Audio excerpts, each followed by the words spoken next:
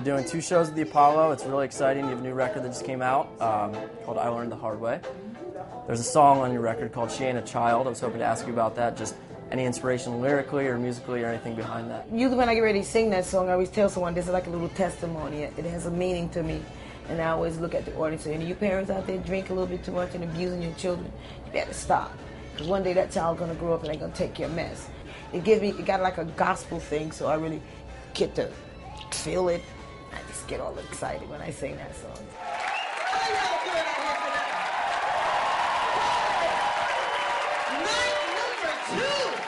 What does playing the Apollo mean to you? I mean, is it was it a, was it a big deal? Well, actually, this is my second time. Well, tonight is my third time. Right. Now I'm like, I'm back at the Apollo, but that night, like, at the Apollo, you know, and I got the, the, the tree, you know, and it rubbed that stump, and, and I read some of the things how they said how the audience screamed and you could not hear yourself singing. It was true. That was that first night that my, my ears literally was ringing. I like, and I'm like singing. I'm like, do they hear me singing? Because they screaming, you know. How do you prefer, you know, going about the studio process? Do you? It's okay. You should have saw her face. She's like, I did nothing. I was like, who is the talk?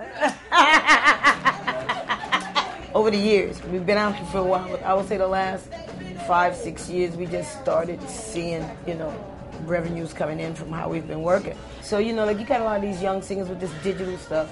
And I'm telling you, those singers in there, half of them couldn't hold a note if I held it for them. Let me hold this note for you, and you sing it. What's in store for the next year? What's your mm. plans? What do you want to be doing? keep putting out good music. That's our whole thing. I don't want our next album to be, oh, they tried, did they make this better than the other one? Because we're not, why should we compete with yourself? I think you just, we do good stuff.